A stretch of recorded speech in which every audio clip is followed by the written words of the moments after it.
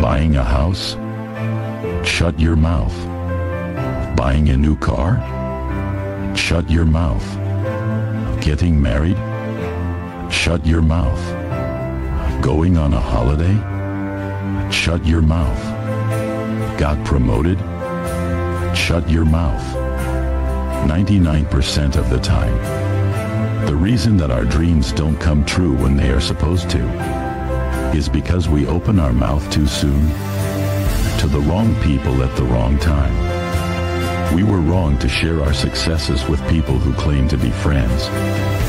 Remember, the envy and jealousy is enough for people to feed off and tear you down. So shut your mouth.